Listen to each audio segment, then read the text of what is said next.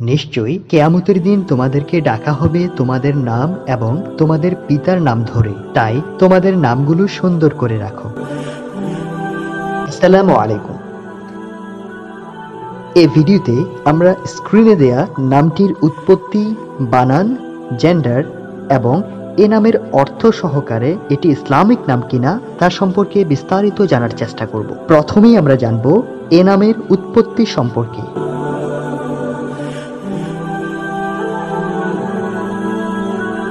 এখন আমরা জানব এ নামের স্পেলিং এবং জেন্ডার সম্পর্কে।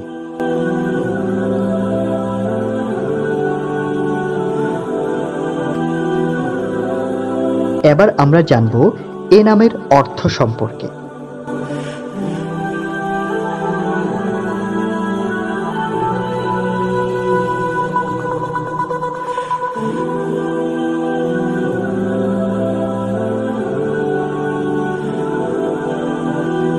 এখন আমরা জানব, এটি কি ইসলামিক নাম কিনা?